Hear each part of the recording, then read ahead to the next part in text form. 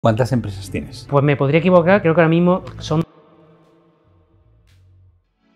Algunas empresas gestionan diferentes marcas, pero son 12 empresas si no me falla la cabeza. Con 13 proyectos, 13, 14 proyectos ahora mismo. Vale. ah, ¿Cómo te mueves por el mundo actualmente? No cuando viajas. Entiendo que tienes distintas eh, oficinas, residencias.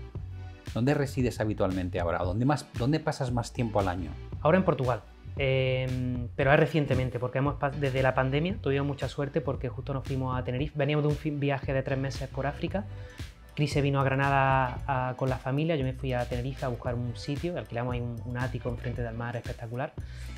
Y, digamos que trasladamos la empresa ahí, ¿no? porque también a nivel fiscal está la zona especial canaria, que en lugar de un 25% paga un 4% de impuestos a sociedades. Montamos, digamos, la sede allí de, de lo que sería la Escuela Nómada Digital y, y ahí he- hemos pasado, o sea, nuestro campo base, eh, sobre todo con la pandemia, que entre comillas no te dejan viajar, pero nosotros hemos viajado, hemos visto las siete islas, hemos ido a Brasil varias veces, a Alemania, o sea, hemos viajado, pues al final se puede.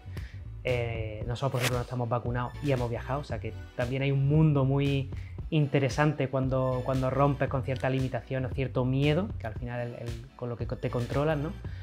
Eh, y de alguna manera estuvimos como desde 2020 a 2000 bueno, dos años, 2020, 2021 y casi 2022, eh, como campo base en Tenerife, pasando mucho tiempo en Brasil principalmente, porque yo hice pues tres meses al año iba allí para formarme, ya que íbamos allí, pues no, nos quedamos bastante tiempo allí, tengo muchos amigos allí, mi ex es de allí, eh, pero principalmente fue Tenerife y ahora hemos movido el campo base.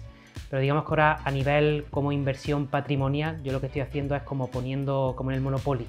Entonces, por ejemplo, ahora tenemos una casa en Filipinas, que claro, con un complejo grande que estamos construyendo, hemos comprado 12 hectáreas entre otros socios, entonces pues yo me he quedado con, con dos casitas allí. Eh, hemos comprado ahora en Portugal, en Granada, enfrente de la Alhambra, tengo una, una casa que bueno, está en cultura pendiente de la renovación, que pues, tiene tres pisitos, vamos a hacer también alquiler vacacional ahí. Tengo una casa en mi pueblo, que, en- bueno, un piso en mi pueblo que mis padres vendieron su casa y ahora ellos están allí viviendo.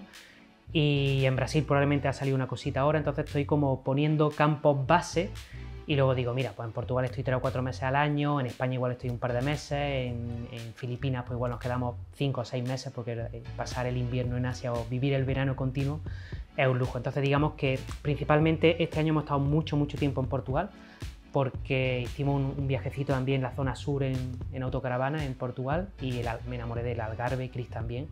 Y, y hemos estado alquilados seis meses justo ahora, eh, en julio pues hemos comprado, hemos hecho ya mudanza, estamos haciendo un hogar, por así decirlo, que es un proyecto también de pareja que tenemos, por ejemplo, Chris y yo, y hemos cambiado mucho, porque antes era viaje, viaje, viaje, luego durante la pandemia era quizás seis meses al año viajando, seis meses un poco más estático, y ahora pues prácticamente hemos hecho viajes de ida y vuelta de dos, cuatro semanas, y, pero ahora en noviembre, por ejemplo, nos volvemos a ir a Asia sin fecha de vuelta. Entonces, pues tenemos una semana en Dubái, dos meses en Indonesia, luego nos vamos a Filipinas y en Filipinas no sabemos si nos quedaremos mucho, nos quedaremos poco, eh, iremos luego a Australia o ya Una pregunta muy personal. ¿Y eh, os habéis planteado tener familia, hijos propios y cómo los em- cómo juega ese, es Sí. Normalmente es un que luego puedes viajar con ellos, evidentemente, pero Sí, de hecho conocemos muchas familias de nuestras etapas más viajeras de vuelta al mundo que viajamos en ciertas etapas con ellos. Eh, ciertas parejas que no tenían hijos cuando las conocimos y ahora tienen hijos y siguen haciendo exactamente lo Mm. mismo.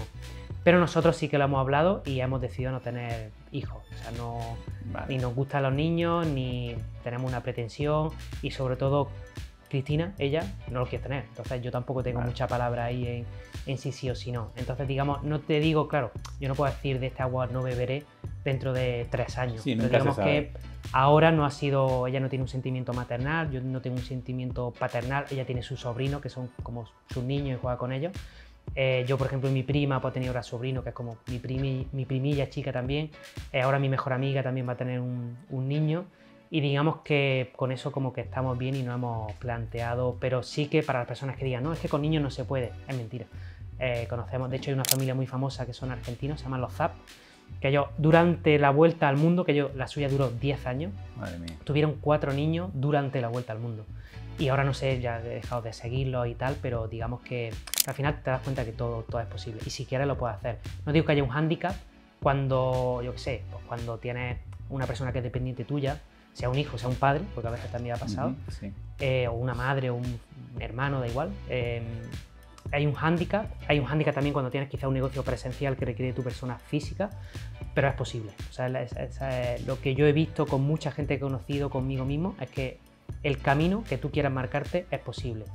Tengas hándicap o no lo tengas, sea más fácil, o sea, no es lo mismo, por ejemplo, las personas que llegan a nuestra escuela me dicen, hostia, ¿es posible con 50 años, con 70, hacer esto del nómada digital y hacer una reconversión profesional y trabajar online? Es posible. Tú lo vas a tener más complicado que la persona que nos viene con 15 años, que es nativo digital. No es lo mismo, no podemos ser ingenuos tampoco y decir que es lo mismo, pero es posible. Y hemos conocido personas de 70 y personas de 15 que lo hayan hecho. Y personas de 15 y personas de 70 que no lo han conseguido también Vale, si yo me pongo, me voy a poner en la, piel de tu alumno. Yo de repente me acerco a ti y te digo, Antonio, eh, ¿qué necesito o qué crees que necesito para dar ese salto? Eh, el tipo de, de producto que yo tengo encaja relativamente bien porque es un producto que se puede consumir por internet fácilmente. Eh, puede ser un servicio de análisis de mercado, puede ser una, un tema de tutorías. Bueno, solo la llamamos la matrícula, la matrícula anual de la escuela, que digamos que es un año de un proceso formativo que tienes como seis etapas. Nosotros empezamos trabajando mucho la mentalidad, lo llamamos mindset y headset, más a nivel emocional, a nivel incluso de hábitos. Em, luego entra una fase más de análisis, la llamo la brújula del propósito, pero trabajamos los valores, la misión, la visión, el propósito. Algo que quizá antes no se tenía mucho en cuenta, pero yo creo que si tu, propósito de alguna manera está claro, te marca el, te marca el camino. no te marca el camino, te marca un poco el destino y el camino lo vas viendo. ¿no? Pero como decía Séneca, no hay viento favorable para el que no sabe a dónde va. ¿no? Si sabe a dónde va, y eso por ejemplo Eduardo Galeano lo definía súper bien. ¿no? Ellos te decía que que era la utopía era como ese, o el propósito es como ese faro o, el sol, ¿no? Eh, cuando se está poniendo, que tú, tú te acercas dos pasos al sol, el sol se aleja dos pasos. El horizonte siempre se aleja conforme tú te acercas, ¿no? Y en realidad la utopía o el propósito no sirve para conseguir un objetivo, sino para caminar.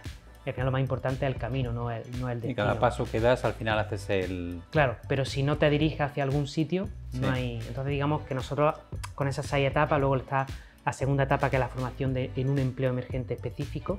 Eh, luego está la etapa de marketing digital, luego está la etapa de travel hacking, para las personas que quieren viajar, pues también enseñamos diferentes truquitos. Eh, luego una parte también de salud, porque hay muchos nómadas digitales que, te descuida. Yo durante la vuelta al mundo me descuidé mucho físicamente. Y ahora lo que primero que hago conforme me levanto es un poco de entrenamiento físico, ¿no? de entrenamiento de fuerza.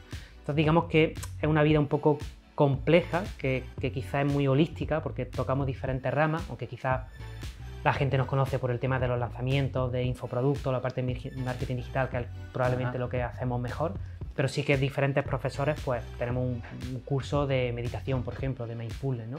que para mí es imprescindible en mi vida. Yo, yo no concibo el, el, negocio un día sin meditar 10 minutos. Ahora, de hecho, he venido a Madrid, me quedo y me voy a un, retiro de estos de Vipassana, que voy a estar 11 días sin teléfono y solo meditando y en el campo, ¿no? Entonces digamos que para mí una, una parte de desarrollo personal que va muy ligada al desarrollo profesional. Desde mi punto de vista no concibo una cosa como... Sí, buscas un, equilibrio, en todos los sentidos. Claro, que el equilibrio no es real, porque hay momentos que dices, ostras, tienen un lanzamiento y yo me mato a trabajar y descuido probablemente alimentación, salud, meditación y muchas cosas.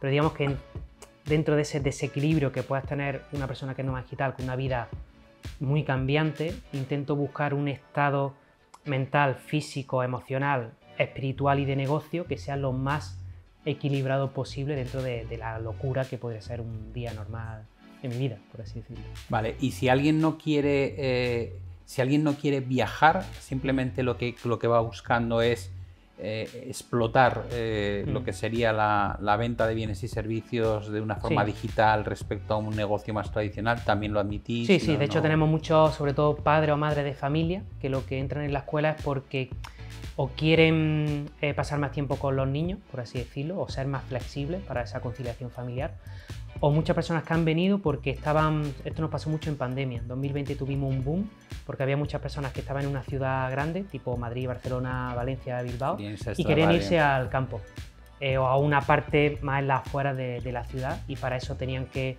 tener otro trabajo, trabajar en casa porque si no su, su, trabajo era presencial y tenían que venir a la oficina, al centro de, de la ciudad, entonces perfectamente compatible. Luego hay personas que no necesitan la matrícula, que simplemente como quiero una formación específica de para vender mi producto, o quiero trabajar mis valores y mi propósito, una otra formación para eso.